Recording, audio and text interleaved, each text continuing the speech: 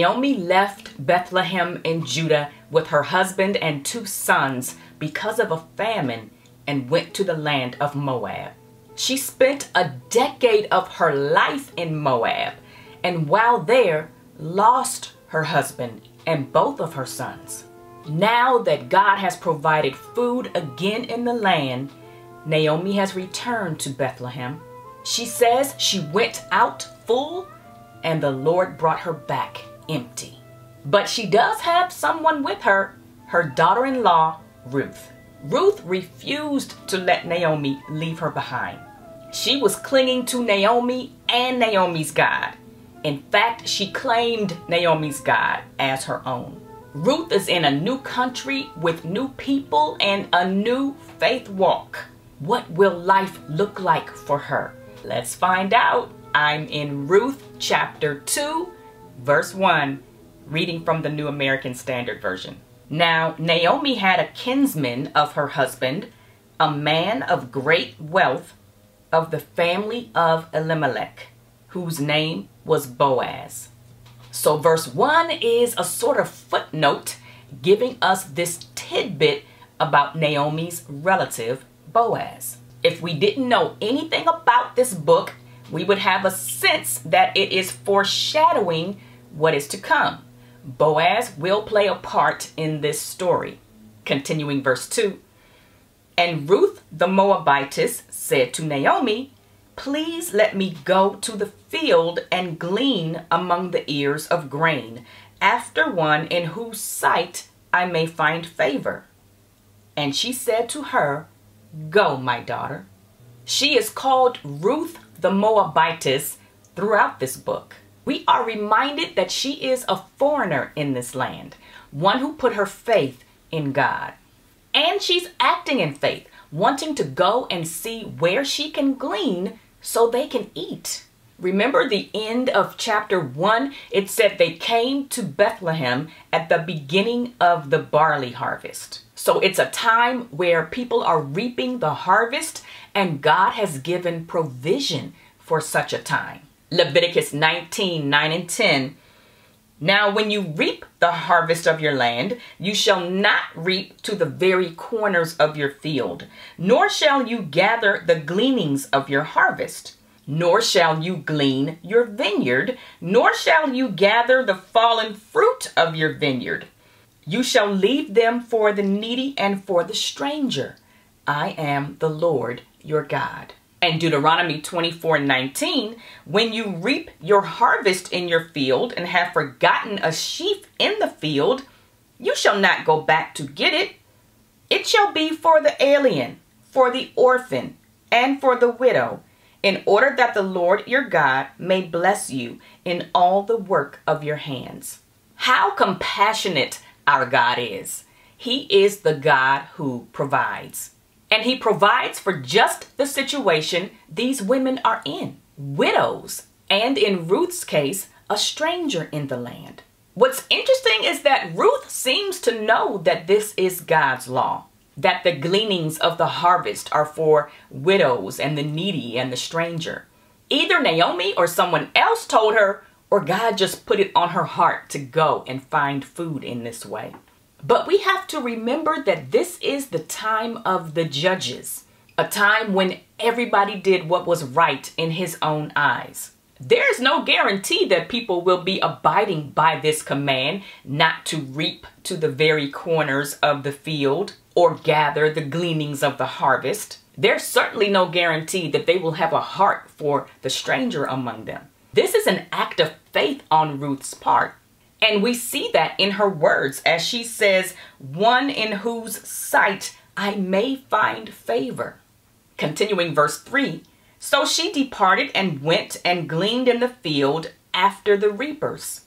And she happened to come to the portion of the field belonging to Boaz, who was of the family of Elimelech. Now behold, Boaz came from Bethlehem and said to the reapers, May the Lord be with you. And they said to him, May the Lord bless you. It says she happened to come to the portion of the field belonging to Boaz.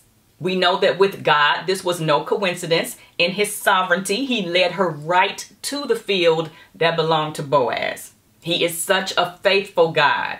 So we've been told that Boaz is a man of great wealth.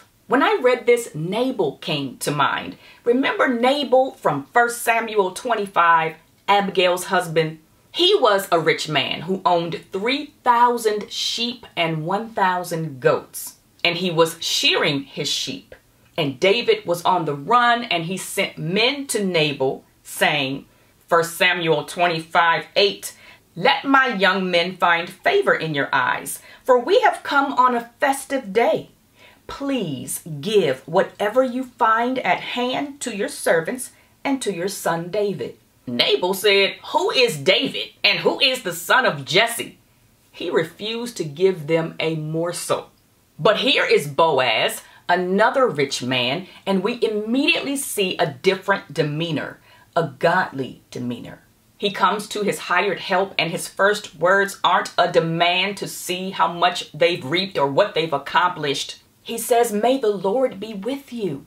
He gives them a blessing, a wonderful one.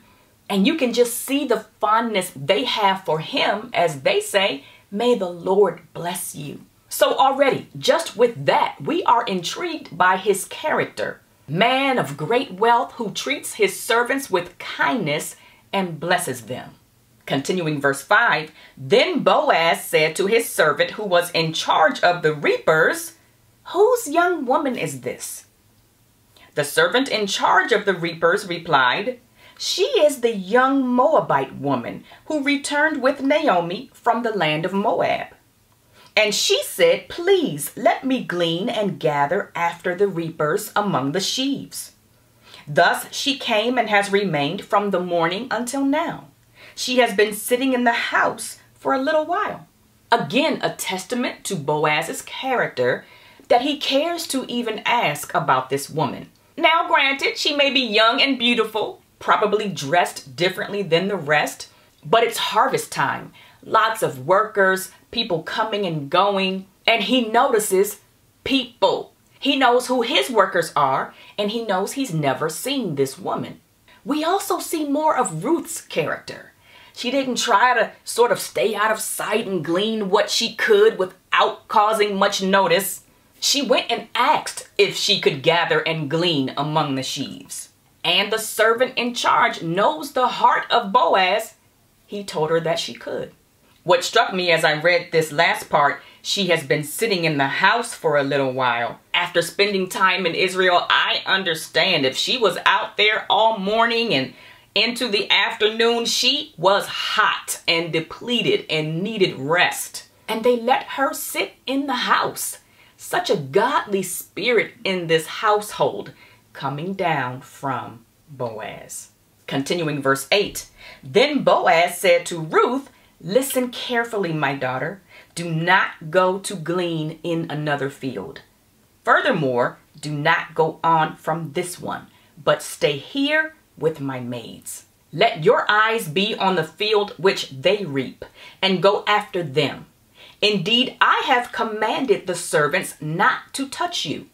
When you are thirsty, go to the water jars and drink from what the servants draw. So Boaz heard this report about Ruth. He now knows that she is in the family. He goes to talk to his servants, telling them not to touch her. Then he goes to Ruth to tell her, do not go and glean in another field.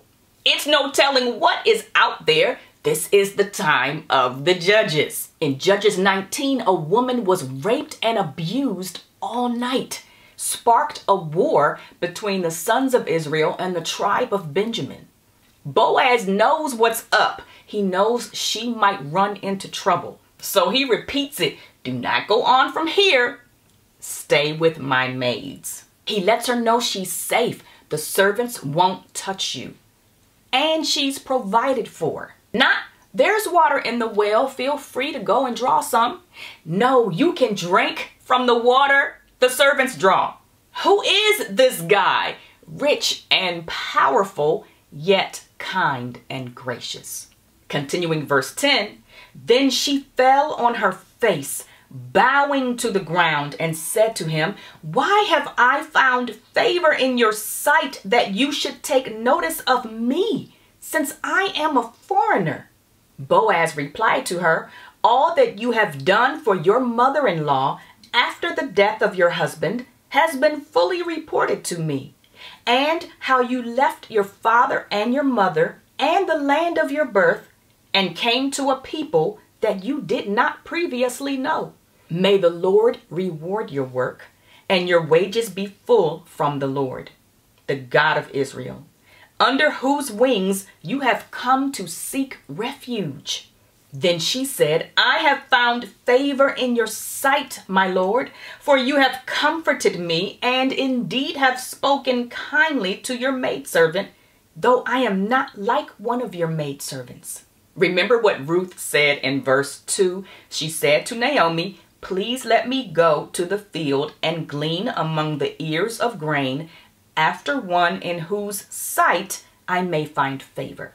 Now she is blown away that she has indeed found favor. Isn't that how it is? We believe God for something, we ask for favor, and when it happens, we are awestruck. Like, God did it. This is amazing. This is building Ruth's faith right here.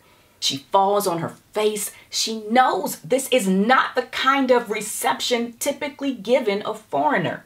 She's like, Why would you take notice of me? God's eye is on her. And look how word has traveled about Ruth. Her decision to follow Naomi and let Naomi's people be her people and Naomi's God her God. The fact that she cares for Naomi. That's a testimony that has now gone forth. Boaz says it's been fully reported to him. But can we just camp on verse 12? Can we talk about how Boaz clings to God? This is a man who loves his God, who clearly spends time with God. God is on his lips, but not just on his lips, in his actions. He says to his servants, May the Lord be with you. Now he speaks a blessing over Ruth. May the Lord reward your work and your wages be full from the Lord. Boaz knows that the kindness he is showing Ruth is from the Lord. So often Boaz gets the glory for how he treated Ruth. Boaz didn't heap glory to himself. He knows this is the Lord. He sees clearly what is happening. Ruth left her people and her land in order to worship the true God among his people, and the Lord is rewarding her. Then Boaz says, Under whose wings you have come to seek refuge. Boaz probably gave her insight that she didn't have. Like, wow, what a picture. That is what I did. I found refuge under the Lord's wings. And this occurs to me as well. I believe Naomi taught Ruth much about God by word and deed in all the years that they spent in Moab. If Naomi hadn't been a light and a witness, Ruth wouldn't have wanted to follow her and her God. But as we talked about in chapter 1, after Naomi lost her husband and her two sons, the heartache and bitterness caused her to not be able to see any good that was coming from the Lord or to speak anything good about the Lord. Ruth needed to hear all of this from Boaz that the Lord was working, that he was in the midst, blessing her. Ruth says, You have comforted me and spoken kindly.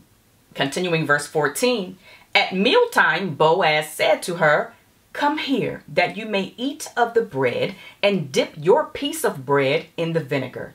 So she sat beside the reapers, and he served her roasted grain, and she ate and was satisfied and had some left. When she rose to glean, Boaz commanded his servant, saying, Let her glean even among the sheaves, and do not insult her.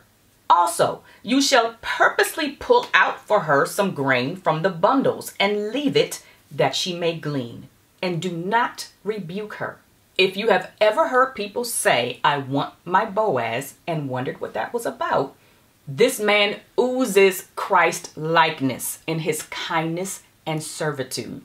It's mealtime. Maybe Ruth didn't want to be presumptuous. She's been gleaning in this man's field all day she can just wait till she gets home to eat. Boaz says, Come, eat.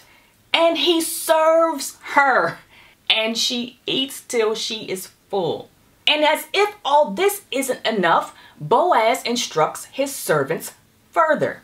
Not just let her glean, pull out some grain for her. Make it easy for her. And do not insult her. Do not rebuke her. Talk about God's favor. This is favor. So beautiful, God's faithfulness and compassion. Remember, Boaz called her my daughter? That's God too. God is like, Boaz, take care of my daughter. Continuing verse 17. So she gleaned in the field until evening. Then she beat out what she had gleaned, and it was about an ephah of barley. She took it up and went into the city, and her mother in law saw what she had gleaned. She also took it out and gave Naomi what she had left after she was satisfied. Her mother in law then said to her, Where did you glean today? And where did you work? May he who took notice of you be blessed. So she told her mother in law with whom she had worked and said, The name of the man with whom I work today is Boaz. Naomi said to her daughter in law, May he be blessed of the Lord, who has not withdrawn his kindness to the living and to the dead. Again, Naomi said to her, The man is our relative. He is one of our closest relatives. So clearly, from the amount of barley Ruth has gleaned, an ephah is over half a bushel. Naomi is like, What? Where were you? She knows this is a blessing. When Naomi hears who it is, she has to be like, How on earth did she end up in his field? One of our closest relatives? Naomi says, May he be blessed of the Lord, who has not withdrawn his kindness to the living and to the dead. Light and hope beginning to dawn as Naomi realizes, maybe God hasn't forgotten about me. Continuing verse 21, then Ruth the Moabitess said, Furthermore, he said to me, You should stay close to my servants until they have finished all my harvest. Naomi said to Ruth, her daughter in law, It is good, my daughter, that you go out with his maids, so that others do not fall upon you in another field. So she stayed close by the maids of Boaz in order to glean until the end of the barley harvest and the wheat harvest and she lived with her mother-in-law. Naomi knows what it's like out there too. I know you adopted my people, but everybody ain't like Boaz. Stick close to his maids. So Ruth is able to glean until the end of the barley harvest and the wheat harvest, safe with an abundance of provision. So we read this and we are captivated by Boaz's character. If we're single, we want a Boaz.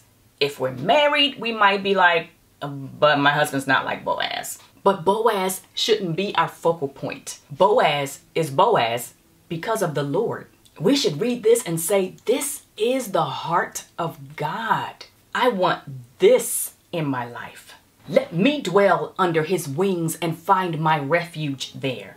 We can recognize and praise God for how he takes notice of us, even in the little things every day how he cares and provides for us, how he protects us, how he shows us favor. In Christ, we are blessed with every spiritual blessing, infinitely beyond what Boaz was able to give Ruth. Let us marvel at the daily kindnesses of God as we cling to him.